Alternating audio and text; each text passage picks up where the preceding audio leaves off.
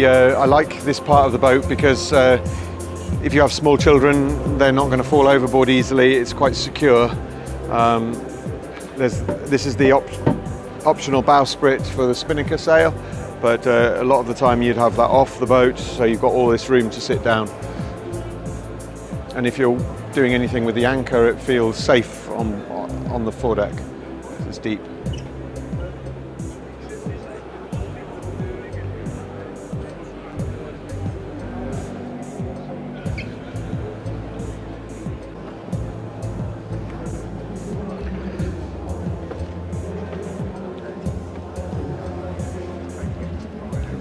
So um, this boat's got a really, really big cockpit um, and it's also got a really good uh, height here. So it just makes a real difference when you're sitting to have a comfortable backrest.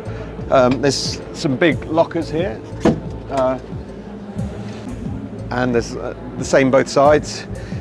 With this boat, the outboard um, bolts on here and it pushes through pushes through these flaps. Um, so the, the outboard lifts up completely when you're sailing, so there's very little drag. So that works very, very well. Um, obviously the rudder, the tiller, and uh, a traveller to give you better sail control here. Quite unique things about our boats for a cruising boat is that they all have carbon fibre masts and also easy because she has a water ballast system like all of our boats. So there's um, 500 kilograms of water in under here. You, there's a bung in the bottom, you see there's a little bit of water still left in there from when this boat was on the water last. Uh, you open the bung and she fills with uh, half a ton, 500 kilograms of water and uh, that makes the boat very, very stable and safe on the water, but light on the trailer because you obviously empty the water out. Okay.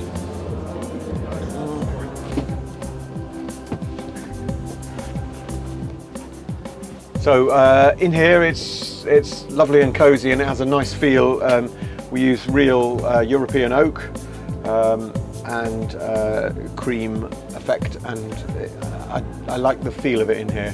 We try and make sure that the boat, uh, the cabin is always uh, a nice place to be.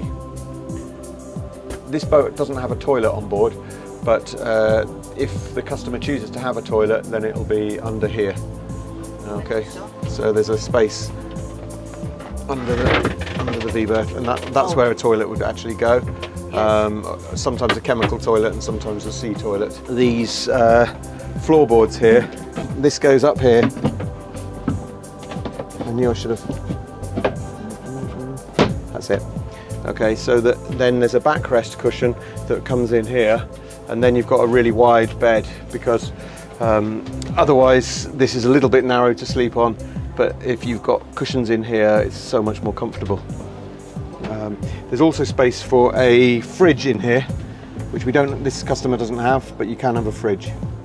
Uh, full electrics, so that you can have all the options that you want for navigation or uh, lighting and um, fridge, as I talked about before.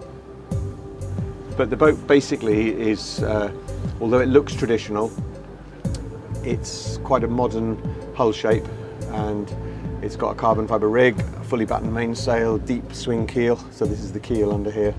Um, so it really is uh, a thoroughly modern sailing boat. Let's take a look also from the outside. Yes, uh, yes, yes, of course, yeah.